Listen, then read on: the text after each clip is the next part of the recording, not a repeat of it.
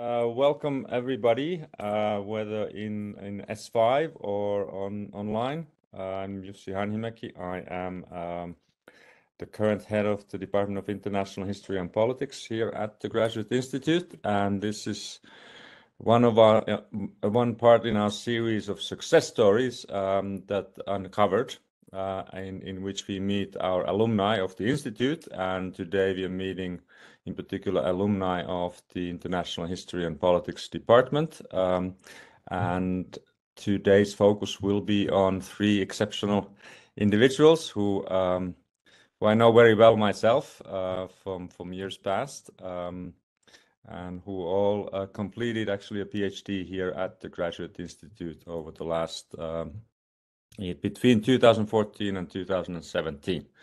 So the three are, I'm going to pass this on to on to them. The idea is that they can we'll go around and and all three will tell us a little bit about their um, experience, uh, both um, you know why they did their PhDs here in the first place, and then how their career um, uh, evolved from there. Uh, but maybe I just quickly introduce the, three panelists today. We have uh, Jackie Eisenberg, who is joining us. She is not too far from where we are now. She is currently at the World Economic Forum. Jackie is holds both a master and a PhD from the Graduate Institute, uh, and her PhD was from uh, from 2014.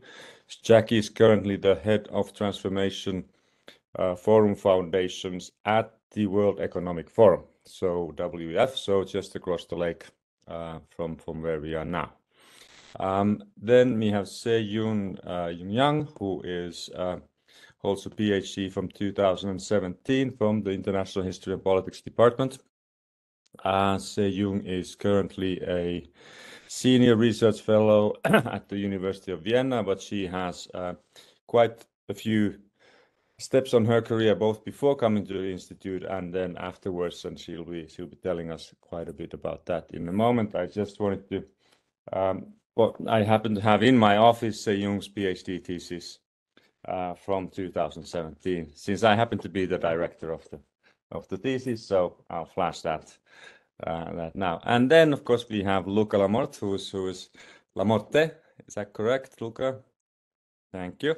Who is joining us from not quite next door. Um, so Jung is in Vienna, and Luca is in uh, Hanoi, Vietnam. So the time difference is is is a few hours. It must be must be uh, early evening or, or something like that in Hanoi at the moment. Luca is uh, is also a PhD from the Department uh, of International History and Politics 2017, and his current position is a communication specialist at the Asian Development Bank that is based in Manila, Manila, the Philippines. Uh, I also somehow happen to have Lucas' PhD thesis on my shelf, so that's this one. Uh, and Luca, I happen to be his his PhD director as well. So you see, there's some connection, um, some connection here already going on. So anyway, what I thought we'd do today, we have uh, we have uh, plenty of time, I think, till uh, till about two o'clock uh, local time. So uh, we don't have to go all the way there, but that's that's where where we can keep keep this going with questions and and so forth emerge. But I thought we just go give uh, let let Jackie and Sejung and Lucas say a few words first about how they you know how their life has evolved uh, and and how the you know about the different challenges and of course their successes uh, and how what the role perhaps the graduate institute and your education here played in in in helping you move ahead with your with your career. So why don't we, we start with Jackie and then go to Sejung and and Luca afterwards. So Jackie, it's uh, on to you. Thank you, Jussi, and thank you, uh, Katarina and Karin for the invitation as well. Um, nice to meet everybody. So I'll tell you a bit about myself and then a few takeaways from my experience doing the PhD at the Institute. So my name is Jackie Eisenberg, and as Jussi mentioned, I work at the World Economic Forum today. I initially came to the Institute almost 20 years ago when I was studying abroad as an undergraduate. Um, and I had the privilege of taking a few classes both at the University of Geneva and also at what was at the time HEI. Uh, Jussi, I think I even had a survey on uh, a big survey course that was over the old cafeteria with you back in the day. um, and basically, when I came abroad, I fell in love with the Graduate Institute, I fell in love with Geneva, and also the archives here. Um, while I was studying abroad as an undergraduate, I interned and volunteered at a number of organizations, including the International Labor Office, Médecins Sans Frontières, also the Geneva Art and History Museum. And I really discovered that I liked international organizations, both from the way they operate, but also from the great archives that they have. Um, so when I finished my bachelor's degree back in the US, I actually decided to come back and work for the ILO for a bit. Um, I worked in their archives for about a year while I was applying to grad school. At the time, I didn't really know if I wanted to pursue that in the US or if I wanted to pursue that in the UK or even Switzerland. And when I looked at everything, I said, you know, Switzerland makes a lot of sense, both from where my intellectual interests are with the international organizations. Um, I was also very lucky to have a great uh, scholarship package from the Institute, uh, both for my master's and my PhD, which made the choice quite easy. Um, and while I was here, I sort of continued what I've been doing on that year abroad. So experiencing working in organizations as well. Um, I did some contracting work for the ILO's Century Project, which was running up to the centenary up to 2019. Um, I worked with Jussi and Jerome Elie on a project on UNHCR. Um, I taught a little bit at the Smith program in Geneva, which is the study abroad program that brought me to Geneva. Um, and this is where I probably pivot maybe from the other panelists. Um, as I was getting to the end of my PhD, I realized that I actually really didn't like teaching. It wasn't something that I envisioned doing for the rest of my life. It didn't, you know, get me out of bed in the morning. What I liked more was research and inquiry. Um, so I knew that I had to pivot out of academia pretty quickly because it didn't seem like something that was going to make me happy on the long term. Um, so in order to find what I wanted to do and where I wanted to work, I connected with a lot of friends that were working in organizations that interested me here in Geneva. Um, I also connected with alumni through the help of the alumni network at the Institute and just talked to people, you know, what were they doing? What did they study? How did their studies help them find their job? What did their day-to-day -day look like? What challenges did they face? What did they like about the organizations? And after about those 20 conversations, I had a good idea of about two organizations I really wanted to work at in Geneva, and one was the Forum. Um, that being said, it was not a linear path. Um, I think after the PhD, over more than a year, I applied to 70 jobs. And I, at the end, I had to take two sort of temporary jobs when I look back on it. One was at the Institute, one was at the World Trade Organization. So I would mention that just by way of you might not land where you will land permanently straight away. You might have to sort of be open, try new experiences and see where they take you. Um, but towards the end of that second sort of shorter position with the WTO, um, I had three offers and one was at the forum, which again was one of these organizations that I was quite interested to work for. Um, without going into too much at this moment, what I do at the forum, so there's time for the other presentation, uh, other panelists to talk about their trajectory, just a few takeaways that I'll throw out at the top. Um, I think what I gathered from the PhD that I brought into my future career were four things. Uh, one is perseverance. Um, you know, if you're working on a master's thesis or a PhD thesis, you really have to make sure that you're keeping it moving forward on your own.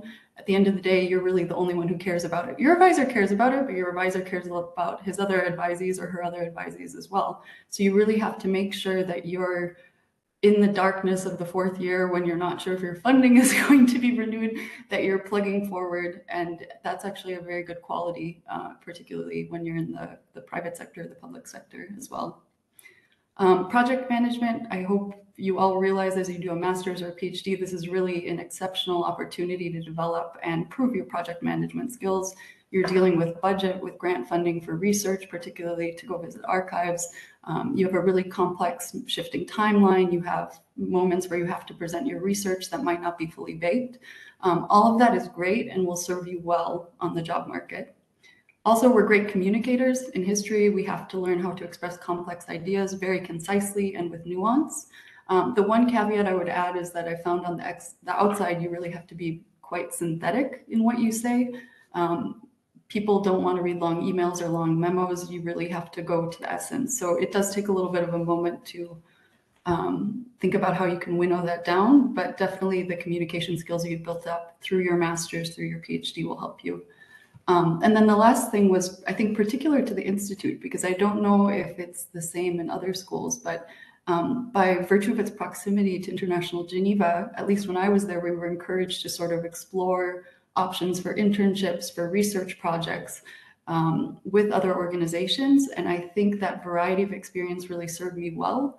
Uh, when I reflect on the diversity of roles I've had in the forum, I've really never done just one thing. I'm always working on multiple topics at once. Um, and I think the PhD and the master's and that experience, both doing the studies and working on the side, really brought me forward in that way. So I'll, leave it there for now. Hand back to you, C. Thank you so much. Great, thank you, thank you so much, Jackie. I mean, we'll come back to you. I'm, I'm sure uh, a few times uh, going forward today.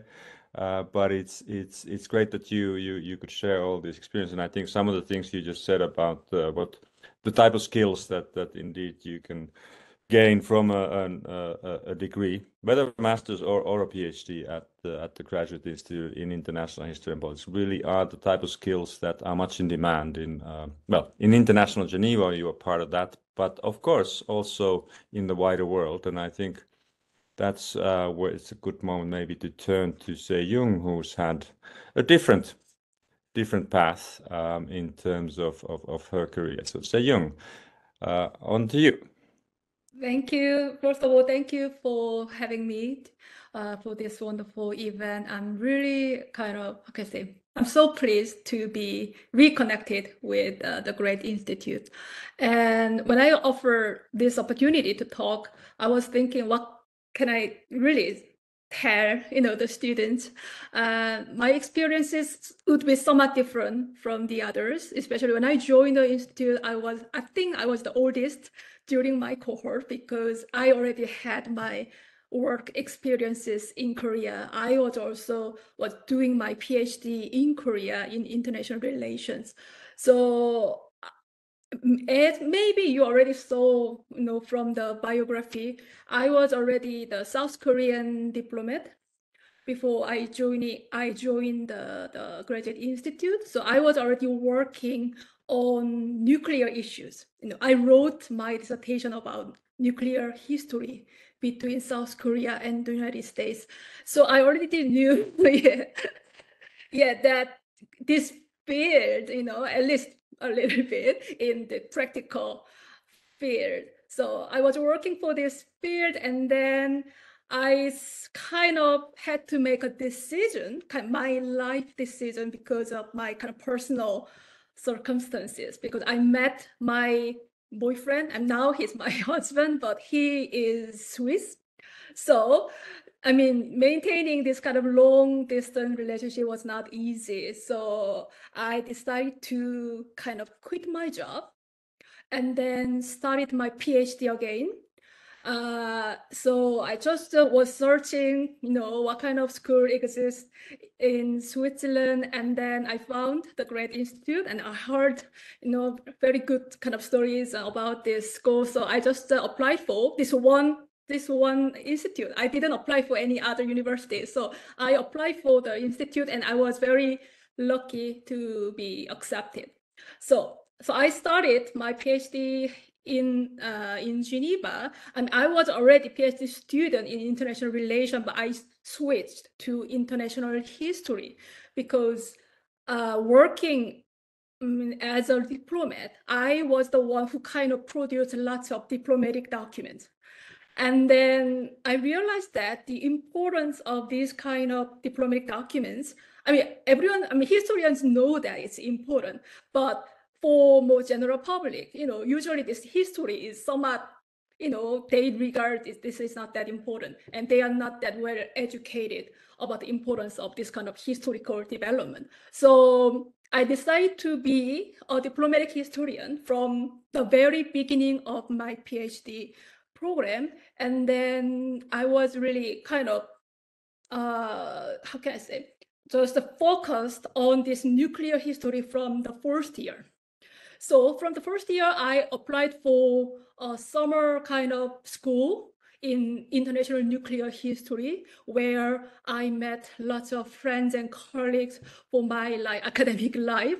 I mean, from I mean, since then I really maintained this academic network with this fellow nuclear historian. So it was my first year as a PhD student.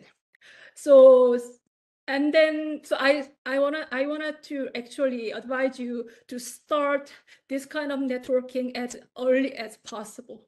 Um, staying at the institute and learning and studying is important, but also, you know, joining some conferences, summer school, workshop, whatever, it's a good way to extend your academic network, which will be very useful in your later academic career. So, and then in my third year, I moved to the United States. Uh, I got this fellowship, Albert Gallatin Fellowship, offered by the Institute Still, do you have this fellowship program? Oh yeah, that's great. Yes. So I got this fellowship, and then for third year, I went to the George Washington University. And then with that money, which I was really grateful, I was able to start my archival research in the United States. So visited National Archive, visited several presidential libraries, things like that. So it was really useful. Also, I got other grants from the institute, so I was able to travel to France, Germany, and Korea to you know continue my archival research. And then after that, you know, I also um, probably apply for lots of pre-doctoral, also postdoctoral fellowship afterwards, because from the third year, I stayed in the United States. I was not in Geneva. So I was away and I wanted to be more involved in those academic communities, you know, outside Switzerland. So I was at the fellows at Harvard Kennedy School, Belfer Center, and later also I joined the MIT as a, a Stanton Nuclear Security Fellow. Also, I applied for some non-resident fellow position here and there.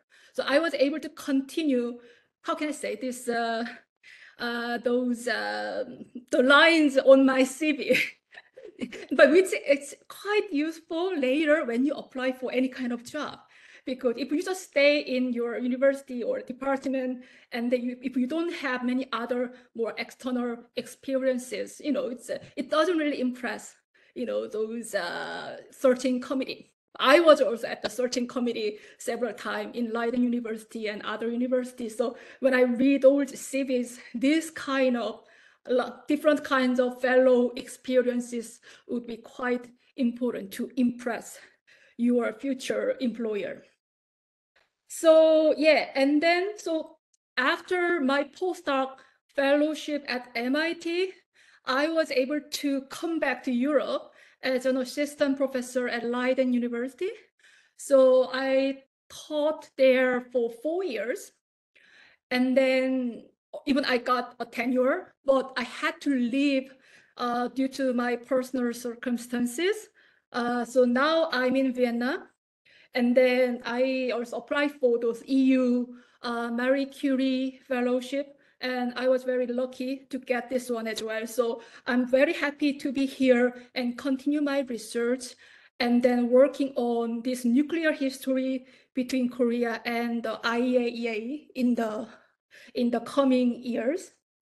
And and one one last thing I want to just talk is, I mean, probably I was a bit in a different situation from other uh, other PhD students because I was already pregnant and gave birth to my son before I defended my dissertation. So all this last year as a PhD student was not easy, definitely. But anyway, you know, I kind of managed to finish this. And if you, some of you have any questions, more this kind of personal circumstances and how to deal with this, I would be happy to answer later. Thank you. Thank, thank you so much, Sejong. It's, uh, it's of course great to see you. It, it's, it's, it's quite the journey as you were describing it, um, both before and after, after your PhD, and so, you know, success stories uncovered is, a perfectly, it's, it's an absolutely perfect title for for this series, as we've already already learned, and it's, uh, you know, the pathways are very different. And we now have two examples when we will hear from Luca as a third different pathway uh, in, in terms of career and, and so forth. So Luca, I pass it on to you. Um, and Luca, as I said before, is uh, uh, like the Jung, received his PhD in 2017 here from the Institute. So Luca. All right. Thanks, Jussi. Thanks, everyone. And uh, good evening from uh, Southeast Asia. So my story is also very different from the previous two. Um, I, on one side, um, sort of always worked during my bachelor and master's degree. I was always in advertising agencies or multimedia production. But I also had a fond love for uh, for history, and I really wanted to work with uh, with Jussi. And at the same time, um, when I was finishing my master's degree, I started considering whether to pursue my PhD in a city that would only open up to uh, positions in academia. So, London, New York, um, DC, um, Paris, or whether I wanted to position myself in a way that would allow me to keep both options open because I knew I loved history on one side, but I also knew that I wanted to work for uh, an international organization, and Geneva seemed the best uh, the best option. I was admitted uh, to other PhDs in London and in the US, but eventually decided to go for Geneva, and I think that was probably the wisest choice among the ones I had, because soon after I moved to Geneva, I started taking on positions consultancies or internships for several organizations, still within the realm of communication, which which I think historians are perfectly fit for. Uh, we have very unique, a very unique understanding of uh, of uh, the world that surrounds us and the past.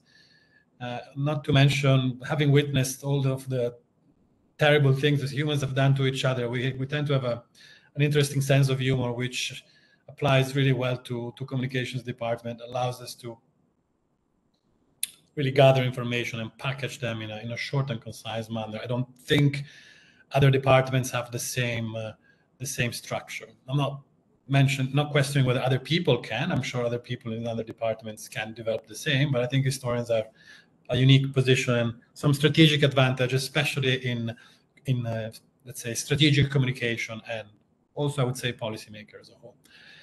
So I started working uh, uh, in parallel to my PhD, and I was lucky enough in my last two years to land on a position at the Kofi Annan Foundation, working for um, former UNSG Kofi Annan and managing his personal social media accounts, which at the time were probably among the largest in uh, within the UN uh, sector, and that was a very formative experience. Also having you know the privilege of sharing uh, as a historian you know basically being in touch with history itself as a man who was who had sort of tried to redefine the un and you know fought, found himself fighting really hard against the americans and uh, and others during the re-election. And uh, you know all the interesting things that happened during the, the war in iraq. So it was an interesting experience live witnessing the man in action and learning, absorbing like a sponge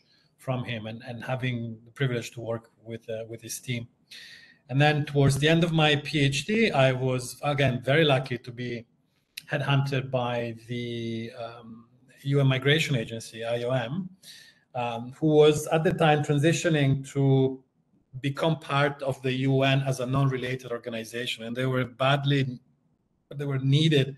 They, ne- they needed to find somebody to to handle the um, their corporate social media. And uh, Mr. Annan, Mr. Annan was uh, was very happy to to recommend me because the former head of IOM, Ambassador William Swing, who unfortunately died, unfortunately died a few years ago, had been appointed by Mr. Annan as the head of UN peacekeepers in Congo when Mr. Annan was the UNSG. So all these series of circumstances helped me land that position. Um, and then again after you know a, a very interesting journey of uh, six years and a half i was again hunted uh, right in the middle of COVID by the Asian Development Bank, who was who is now undergoing, is um, not really within the realm of the UN agencies as part of IFIs, multilateral development uh, banks, similar to the World Bank, but focused on Asia and the Pacific. Um, a very interesting mandate and over nearly 70 countries as member states and a completely different uh, uh, uh beast, let's say.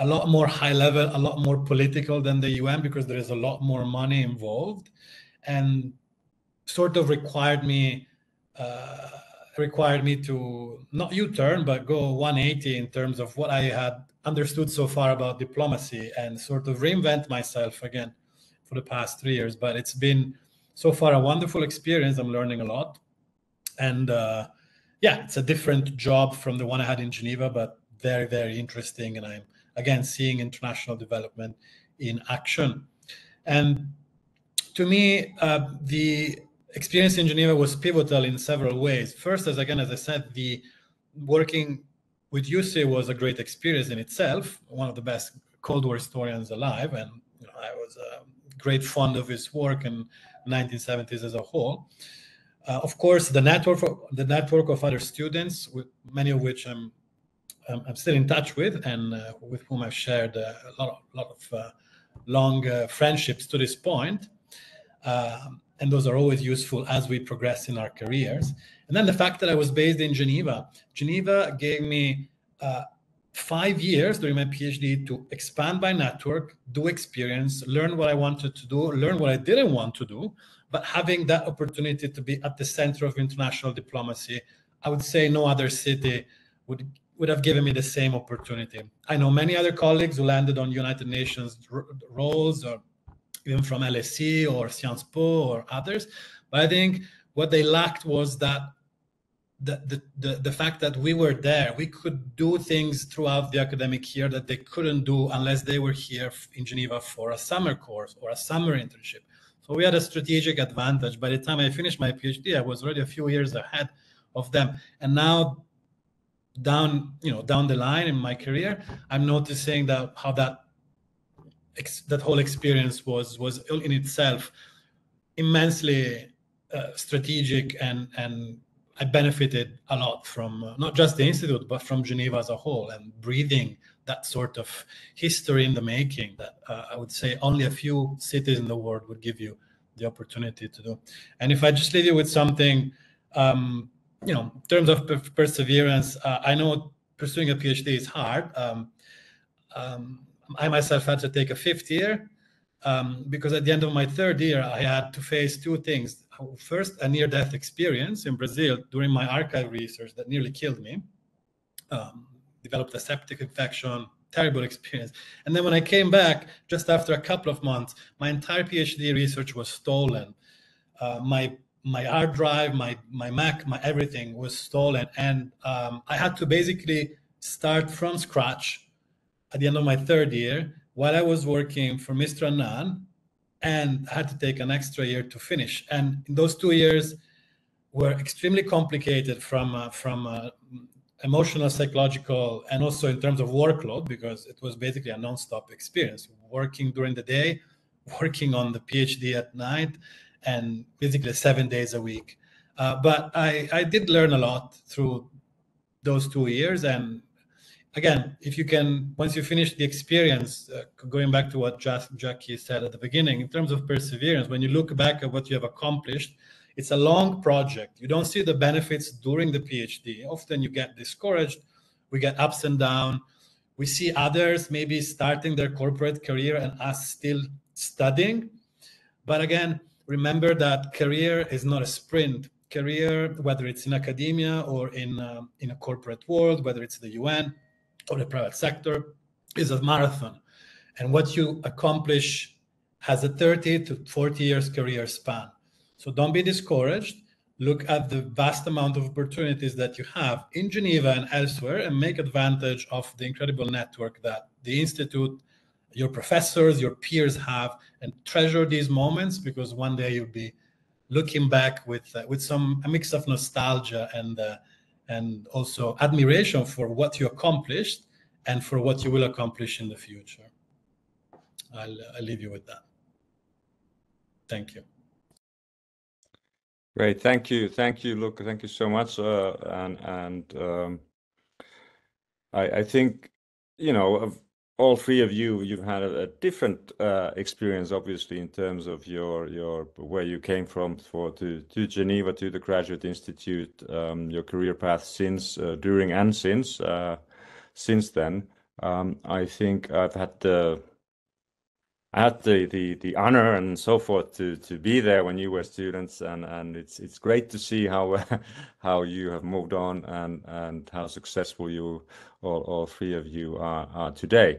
Um, it's uh, the last thing that that Luca that you were saying in terms of um, of the Graduate Institute and and the connections. I think this is where I just wanted to uh, point out that this is an event organized by the alumni uh, office of the of, of the graduate institute which is which is the greatest uh, resource for um, you know networking with people like you so to speak in a, in a, in a sense people who had these similar experiences. And as we know um, this is not just anecdotal three anecdotal uh, examples of of careers that uh, that span the world as we can see, uh, you're all in different parts of the world, um, but also go into different directions in terms of uh, of, of uh, whether with international organizations, whether in, in, in the academia, whether in in uh, in the fields like um, uh, media, communications, etc., uh, etc. And these are a few examples that, and of course, diplomacy,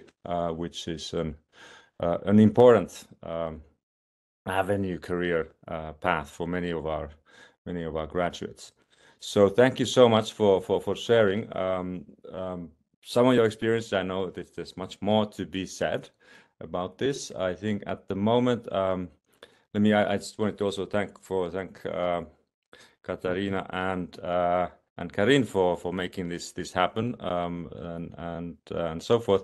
It's uh, it's a great opportunity, I think, for also for some uh, questions and answers from from those who are in a position that some you, that you three were some time ago, and perhaps are wondering what might happen next.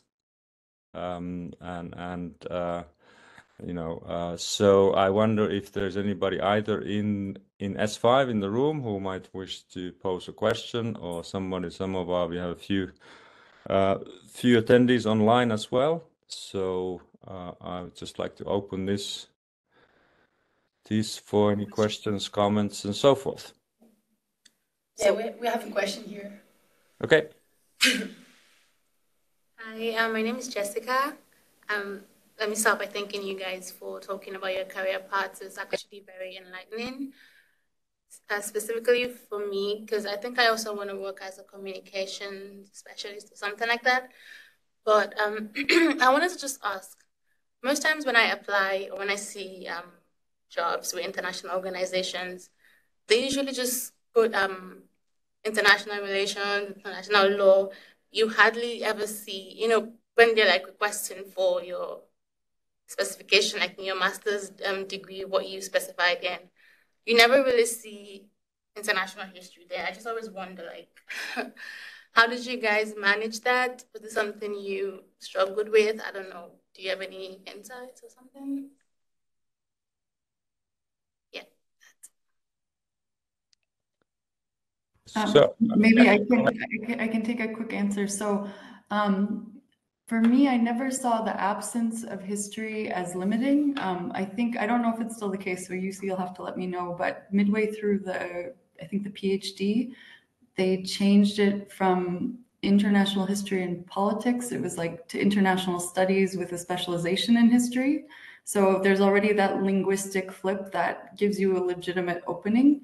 But um, I see now sort of being on the other side of the hiring table, recruiting people that um, generally it seems like hiring managers put that because it's the shortest path, but they do recognize there are other candidates that might be good. I think where it's it's more important is that um, where I've seen people sort of struggle a bit is that when they don't have the imagination to go beyond how what they've done actually can be transferable. You know, if you come in and you say, I have a PhD, many people are going to say, great, you were in school for too long. if you come in and you say, you know, I managed this amazing project, I found grants, you know, I solicited grants, I followed up on the monitoring, it's a different way of framing what you do. So I don't see it as limiting. I think it just involves a little bit of massaging, or massaging is not even the right word. It just involves presenting your experience differently. Yeah, and on top of that, um, I most people don't really care about what you study in comms. They care about what you can do. And communication, as you know, is not just writing a press release. Communication ranges from digital to strategic communication to video production to social media to anything. You have to be as specific as you can be and try to really see where your skills come come in handy and where your skills matched with your studies in history come in handy um, if you just say you want to work in communication, I wouldn't know from what you just said what kind of role you see yourself in. Um, so definitely try to expand the things you can do besides wanting to be a communication specialist and going into interviews with specific skills will will help you land the position but i don't think frankly i don't care what you study you can you can study you, you don't even need a, degree in the humanities to work in communication. You need specific set of personal skills. You need to be a very good writer and that's something that you can also flex. Although i have to be careful that as as an academia as a writer in academia you'll have to unlearn a few things if you want to work in communication. Not in the way you think. In the way you think you can be as strategic and and uh, comprehensive as you as you want and can be, but you will have to sort of learn to navigate the politics, which as a historian you should be able to because that's what you study, as well as write, sort of unlearn how to write in academia and write in a completely different way. But it's doable. I know lots of communications professionals with degrees in history, PhD in history, and even head of departments of communications with degrees in history. So it's perfectly doable.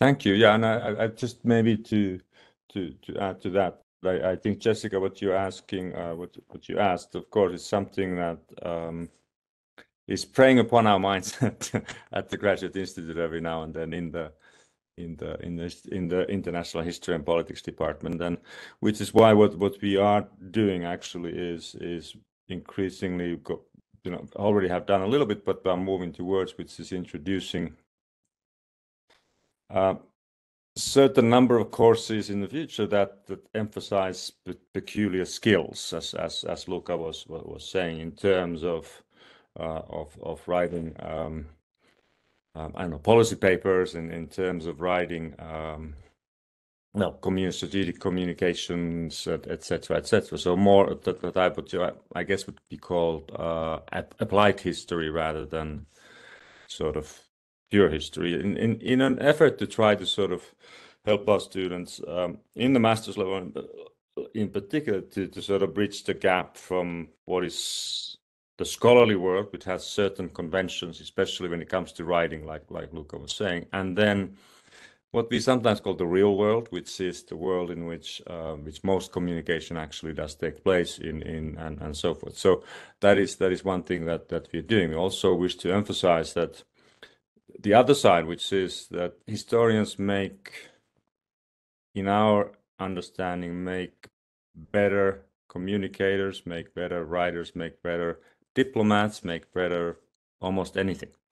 And that's just, um, you know, it's not just selfish bragging about my discipline, but I think it's it's a um, a proven fact in a sense that we we learn important skills that are very transferable, but are not limiting in a sense that uh, they um, they would paint you in a corner that you can only do X. I think what what history allows you is is in a sense to to break away from a very narrow career path, and and and helps and, and allows you to to develop your own in a much more efficient, uh, efficient uh, and open manner than than maybe some other other disciplines that are perhaps a little bit more trade oriented, if you will, in that sense. But yeah, I think uh, we hear the uh, the challenge, and I think some of the other things, Jessica, I think what are important. I think in in terms of if you are indeed not looking for a traditional academic path is of course then to make use of all the other opportunities that we've been that our three panelists have already discussed what, what geneva offers which is the internships the opportunities in different organizations to gain experience that that will uh, will help you build your career uh, in a sense. Okay uh, i think we have a question from um, uh, well, Karin, yes, to everyone. Jackie, uh, it's about a working permit. Do you want to? Uh, yeah, um, that? that? was a funny odyssey. So I'm from the U.S. Um, when I studied abroad, I had a student permit. Um, when I worked at the UN, I had a carte de légitimation. It's kind of the diplomatic permit that you you kind of exist, but not really.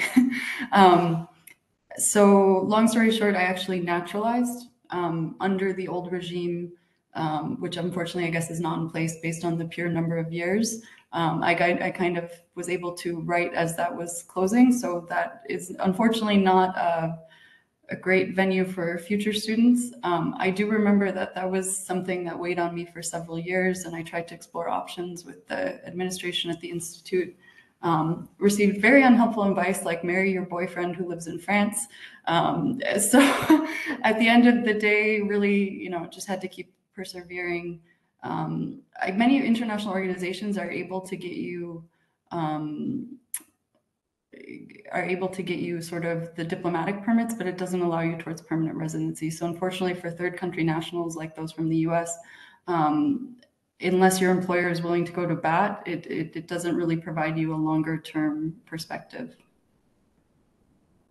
Yeah, that's very true. Because I spent 12 years in Geneva and I have nothing after I left precisely because I'm part of the new regulations. Yeah. Yeah. You are Italian, Luca. Sorry? You are Italian. Yes, but I couldn't get any naturalization, and I spent more than 10 years in the country. But because of new regulations and because I had a CDL, like Jackie says, I existed but did not exist at the same time. So by the time I transferred abroad, I lost a lot of my. But if I go back to Geneva, I will have to start from zero in terms of bureaucracy, which that's part of the new rules, but it's the way it is. It's okay. So now we are talking about, are we discussing the sort of naturalization process, how to become Swiss in effect. I have to have access to the Swiss job market or the, right. the job market in Geneva. Um, Much better. Yeah. Right, yeah. right. Um, if I, hmm. oh, go ahead. I have a different thought based on something you guys said earlier. No, no, no. It's just that if you're if you are European and it, it, you you have or Swiss, you'll have a strategic advantage against third third party nationals, including Americans, because of the system you you know very well. I actually, Luca, I found something you said really interesting about being headhunted for your role, and actually maybe wanted to open up, if I can, a bit of a discussion with you and uh, Se-Young. Um, I think one thing I found was that at a certain point, I, um, Jessica, you had mentioned sort of applying for jobs. At a certain point, you find out that there are many jobs that are actually never posted. People come to you because they know you, they know your reputation uh, can happen earlier or later. Um, the short-term role I mentioned at the WTO, um, I had done a collaboration with them back when I worked at the ILO, and one of the counterparts there remembered me. And as I was looking for a job, I sort of reached out to everybody in my network saying, next few months, do you have anything? And a few months later, he came back to me and said, hey, actually, we have this budget for about a year. We need to do some historical projects. Are you in? And I said, yes, I am very much in. Um, so curious to know sort of the role that the network and sort of, uh, you know, um, the role your network is playing in, in helping you progress in your career.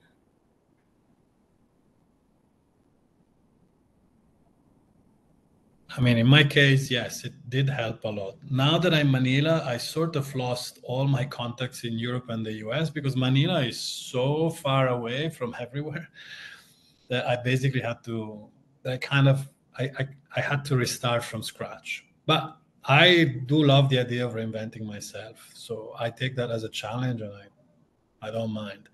But the way I landed my job in Manila was because uh, due to my achievements with the IOM, we had an we had an unspoken sort of budget mandate war between IOM and UNHCR when I was at the UN, and I was constantly sort of in skirmishing with the with the UNHCR social media team, which was 10 times larger than our and had a budget that was 100 times larger.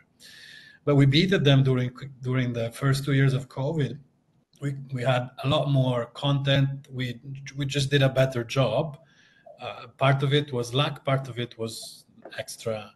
Um, was you know the sort of freedom we had from our management, and that landed us on a couple of uh, international awards as a as a team, which then got my team noticed and the advisor to the principal director of ADB uh, approaching me informally, letting me know that they would open a position within six months, and if I was interested, they would be very happy for me to apply. Of course, I wasn't promised anything. I had to compete, and we were like 650 people.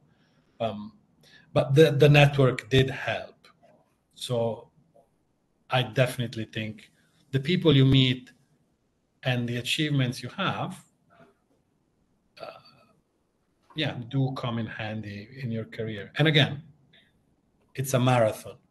There are maybe things that we do today that we see the benefits on 10 years from now 15 years. Career is a long it's a, it's a long process. And sometimes maybe jackie will be director of a big agency because of something you did last year and maybe you know Se Young will be uh, you know ordinary uh, full professor at Harvard because of the connections she developed through Jussi and the other Cold War historians. So I think it's all about thinking long term and not being not being turned off by rejection. I see rejection as great opportunities to improve. And I can guarantee you that we had plenty of rejections in our careers. It was not a linear a linear journey. I was rejected many times before I landed on the job with Kofi Annan, for instance. And then, so yeah, don't don't be discouraged. So in my case, I mean, in academia in general, the recruitment system is more would be more transparent. And so I got most of my position, previous position through more like public recruitment uh, recruitment process, which are open to anyone. But also I got probably two positions through personal network, especially if you are interested in more policy-oriented job in DC, this kind of think tank, lots of think tanks there. Definitely, you know, your personal network would be very useful. Yeah. And even the job currently I have this uh, senior research fellow position at University of Vienna. I got it first through my personal network. Someone I know working here and introduced me to the department, things like that. And then I got this EU grant, and then now it's okay, it's more public and official. But any kind of personal network, even in academia, is quite important.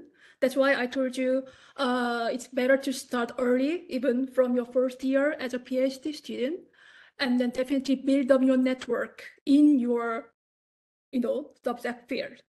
So it, it could be useful later in any case. You know, you if you want to move to another country and then you don't know where to start, you just contact someone you know in that country in academia, and then you can be introduced to you know all this uh, community, academic community in that country. Because I was moving around to many countries, so this kind of network definitely very useful.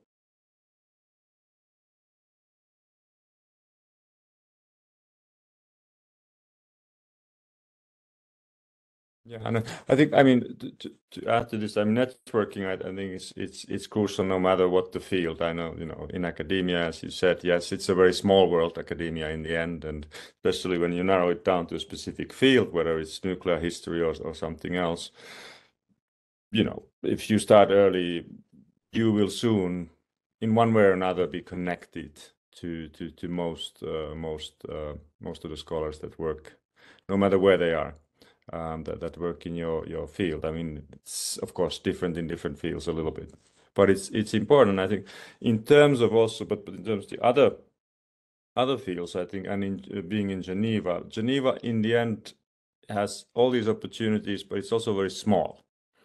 So I think that also in turn, I, I think one of the things that I, you're talking about rejection and, and so forth, from what I gather, some discussions with our career services here is that, that while most students, for example, do get an internship if they want somewhere, they're not necessarily get, going to get the one they really want first. Uh, that that's something that have, you're going to have to live with. But it, it's uh, it's a, like like Luca was saying, it's a process. It's not you know it's a kind of a marathon, yes, but it's also it's not uh, sometimes. But hopefully, you will never hit the wall, as as some runners do. But it's it's a it's it's a marathon with uh, with lots of um, drink stops and and and so fueling stops and and and so forth. Um, and and not a linear one that necessarily is going to go uh, go just one way the whole time. Uh, which again then would connect with the simple fact that today most careers are not careers for for life, right? Um, that most careers have different, and I think you all three are examples of this. That that you have you you sort of shift gears every so often, and and that's become I think more common than not in in today's world, regardless of what your what your educational background is. Uh, maybe I could ask, like to ask Se Young a, a question about. You you were a diplomat for a while, right? Any regrets in terms of uh, of leaving that world? How does that world look now, when you look back to your your time as a, as a junior diplomat for for the Republic of Korea? How does it seem now um, from the you know vantage point of of Vienna? Uh, PhD in hand? Uh, to put it simply, I have no regret. Uh, I mean, I enjoyed working for the ministry when I was there. I learned a lot, and then I'm really grateful for I was actually the if if the ministry hadn't sent me to this UN disarmament fellowship program, I which I joined when I was uh, working for the ministry, I wouldn't have really have thought of this kind of academic career because during the UN fellowship program, I was really exposed to many different parts of disarmament and non-proliferation issues, and it really, uh, how can I say, kind of made me think like, you know, I want to do more in this field, in this very specific field, instead of at working just a just a, a diplomat who are like the usually diplomat had this kind of rotation system, moving around the country or moving around each department in the ministry. So I wanted to be a specialist in this field. Uh, especially I wanted to be a historian, diplomatic historian. So since I left the ministry, I haven't really regretted my decision yet. but when I moved to the Vienna, which is the IAEA located, so this is really the uh, center of nuclear diplomacy, you know, uh, I, even though I'm not a diplomat, I kind of, you know, I'm kind of surrounded by this kind of diplomatic environment. You know, I can meet those diplomats or ambassadors or IAEA officials. I'm gonna start working on this IAEA histories. So definitely I will visit their archive, things like that. So still I'm kind of part of his diplomatic community, even though I'm not a diplomat.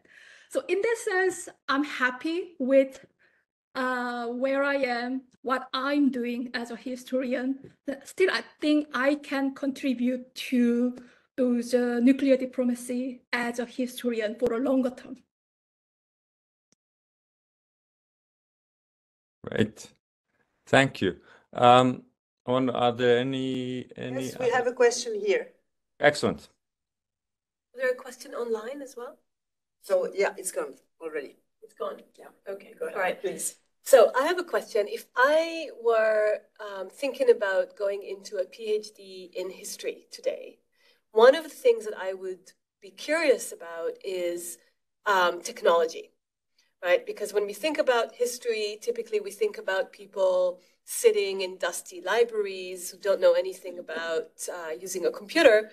Um, we know that the employment market is moving more and more like integrating the use of new technologies. And it's kind of scary and it's kind of exciting at the same time. And i think it's exciting that um, jackie i saw on your somewhere on your background that you had something to do with a metaverse which i thought was curious. And uh, lucas certainly you're working in digital media. You certainly know more than i do about technology and um, so you're also in teaching and academia. So my question is First of all, how has technology kind of uh, permeated your professional trajectory?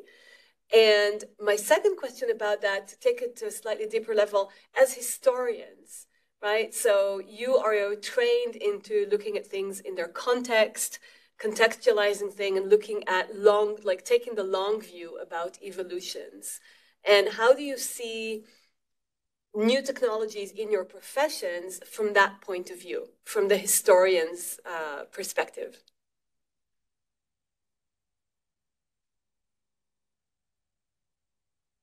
Thank you. Uh, excellent. Yeah, Jackie, go ahead. Please. I can go first.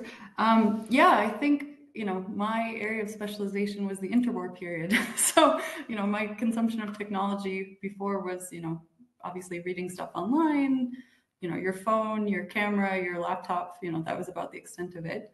Um, the first role I had at the forum kind of threw me in that straight away. So I worked on a product called Strategic Intelligence, and I'll drop the link after. Um, it's essentially an interconnected visual encyclopedia of many different topics.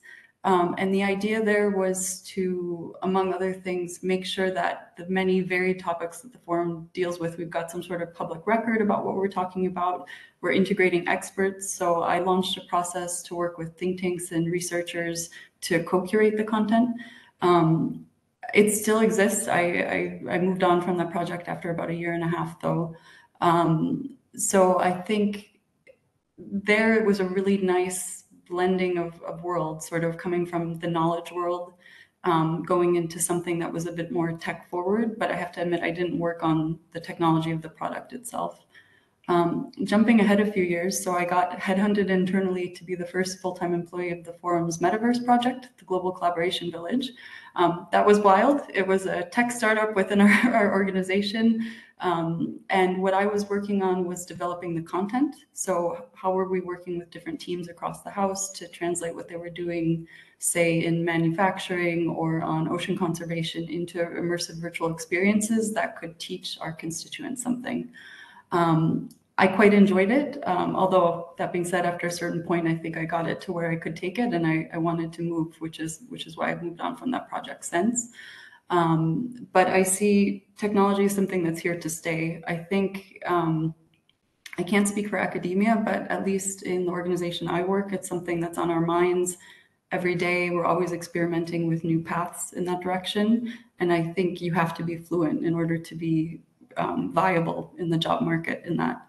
Doesn't mean you need to come in knowing how to code something necessarily, but you need to have an awareness and an openness to learning and to understanding and asking questions about why something is developed this way, but also bringing your personal experience and your skill set to better improve um, the product that exists. Well, there are lots of specialists now who claim that coding is a useless skill, and all those people who spent years learning how to code will just be superseded by people who know how to use prompts and ask the right questions to AI.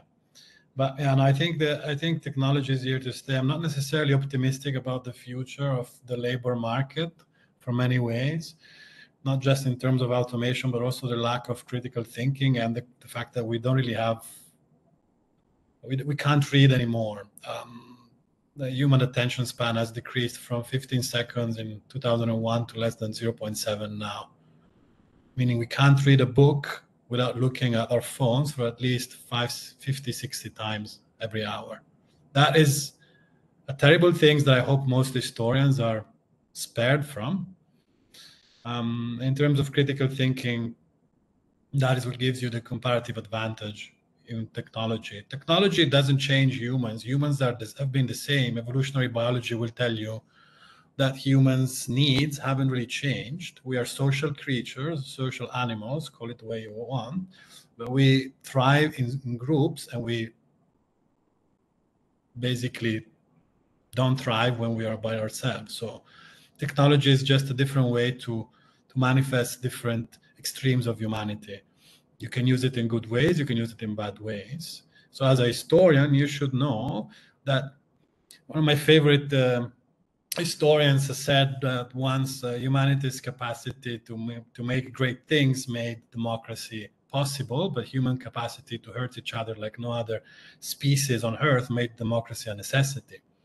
So you know that with, like all things, technology comes with its positive and negative views. It's up to you as an historian to have the sort of longue durée of what are the good ways to use it, whether it, this can be applicable in in your sphere, in your in your agenda, in your job market. Make the most out of it, keeping in mind that technology is just a tool to help you do the same things that our parents or grandparents did.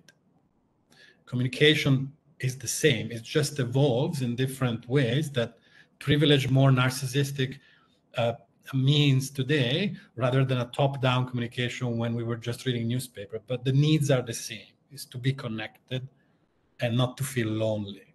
So you can draw your conclusions. And and technology again is a Pandora's box. You can learn it, unlearn it, you can reinvent it. You don't need a degree to learn how to use a smartphone or to learn what the metaverse is. You need to immerse yourself in the technology and then learn its limitations and you know in a, in a, kind of the same like what you do when you're in an archive right you don't know much about the about why kissinger said abc to a certain uh, national security advisor but then by by immersing yourself in the archives you discover the pros and cons of what was going on the limitations maybe that the whole question you had was was wrong in the first place it's the same with technology i don't see much difference in that so it's mostly about how you approach it.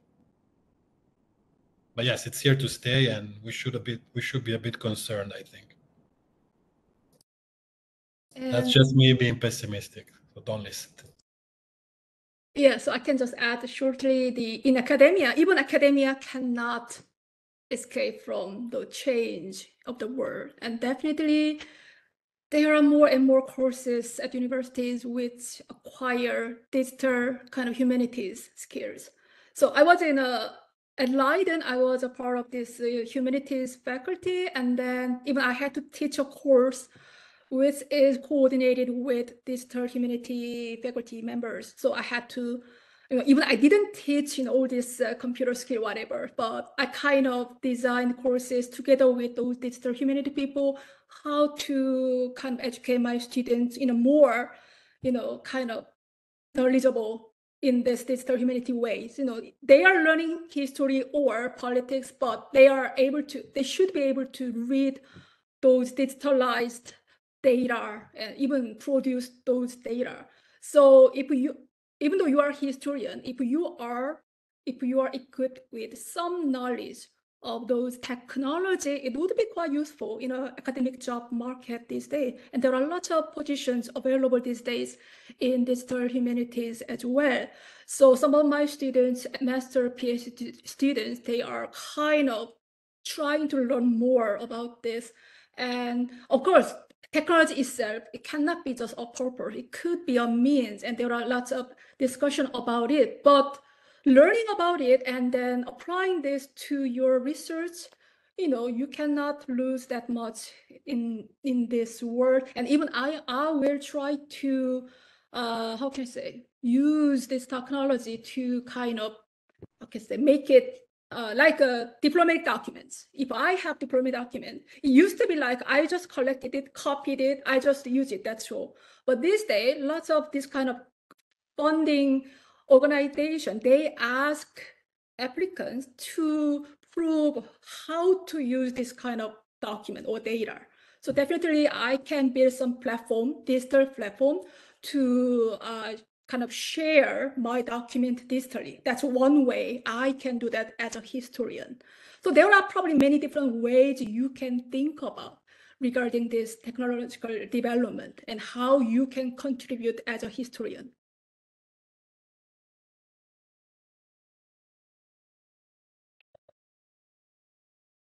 That's great. Maybe I, I could just add very briefly that, you know, of course, historians in general, I mean, what we study is is change and continuity, and, and that's it. Um, you know, in its many manifestations, and one of those big manifestations is technology and how it has changed every, how it's changing, has changed, and changing changing everybody's lives as we speak. So, in in that sense, of course, it is very much the focus of um, it is part of a historian's brief is to understand um, how technology changes lives and, and so forth. It's also, of course, technology is a tool for, for all of us. You know, we don't use typewriters anymore, even though we may be historians. So we don't have that kind of nostalgia um, for for the old times. So so so that is certainly not the case. And as as uh, Jang was was just saying, you know, digital humanities is a huge growing uh, growing field uh, in um, in history departments uh, around the world. Um, historians are increasingly interested in big data, as everybody is, and the uses of big data.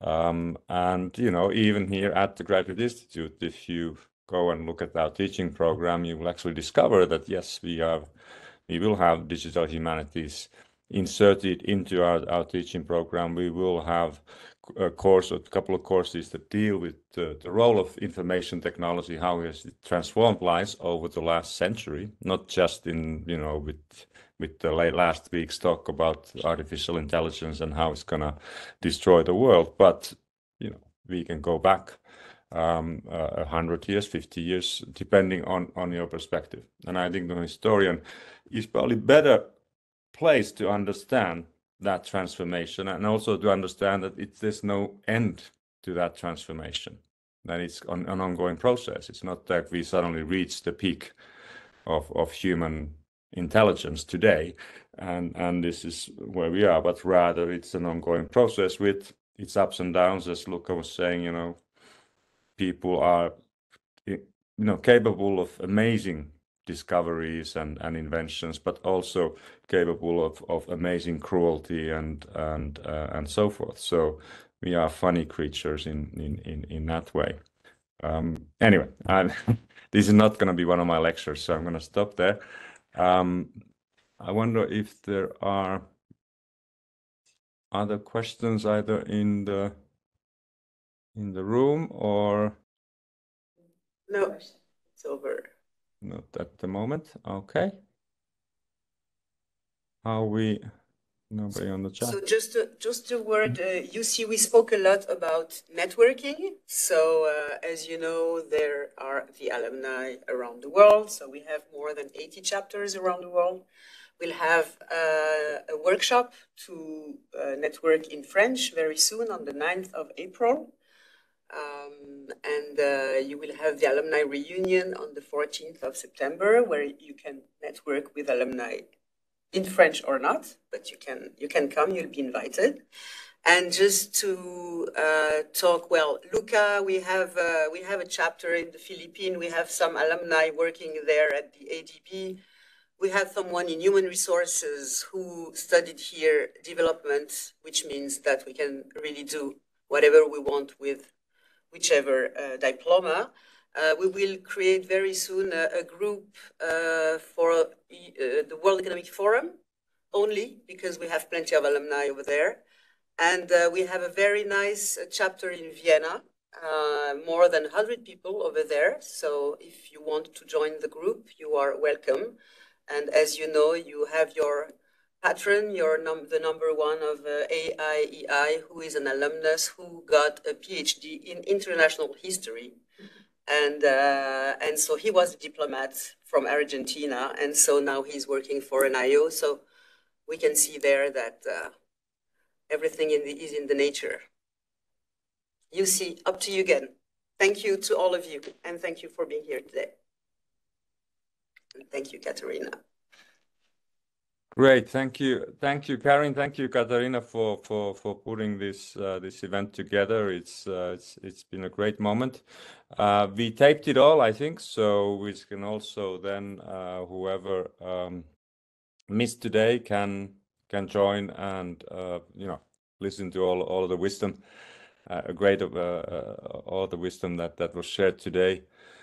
later on, um, I our huge thanks to to to the three participants, uh, Jackie, Se Young, and Luca. Thank you so much for taking the time. I know you have your own busy schedules, um, and um, and uh, you know different time zones, especially with Luca. Uh, that that of course it requires a certain uh, extra commitment. So it's it's a great to see you all, even if if virtually. Uh, it's been too long. I hope maybe you, some of you will have a chance to join us in one of these alumni events in person in the in the near future here at the at the Graduate Institute.